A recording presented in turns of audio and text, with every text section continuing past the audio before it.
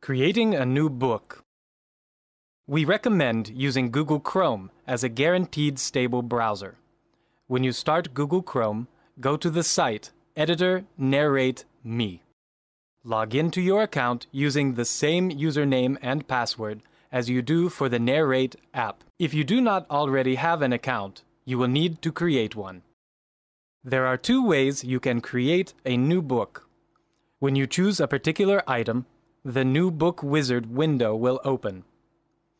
You should add a cover for your future work with a maximum resolution of 560 by 746 pixels. Next, you should think of an engaging title of no more than 16 symbols, as well as an intriguing brief description. To move to the next step, you should press Next. At the next stage, you will be prompted to choose the category that your work fits into. You should also choose the interface style and the base font that will be your default. When you press Next Step, you can immediately start creating your masterpiece.